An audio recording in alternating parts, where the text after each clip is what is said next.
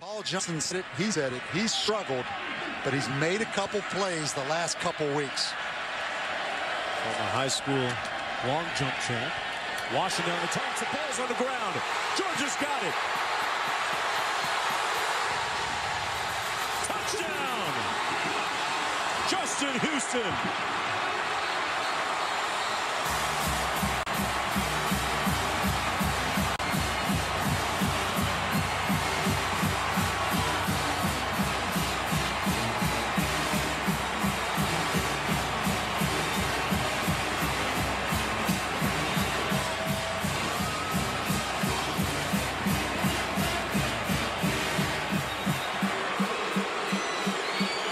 Back-to-back series turnovers for Georgia Tech. This one lethal for Georgia Tech. It cost them a touchdown. We talked about that two-score deficiency. Akeem Dent is going to get outside and force this fumble. Watch the linebacker 51 from inside out, right there. Of course, he never had the football. Justin Houston, the outside linebacker, picks it up.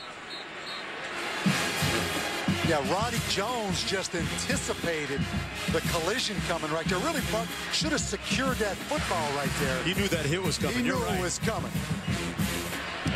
Now three turnovers by Georgia Tech, resulting in 21 Georgia points. Again, you talk about those turnovers being such a big issue all off season. The last two years, you're talking about Georgia, the fewest takeaways in the Southeastern Conference. Two straight seasons. This year, how many have they had tonight now? Is that two turnovers, three? That's 23 turnovers for this football team. Only had 12 last year. So they've increased it, almost doubled defensively the number of turnovers.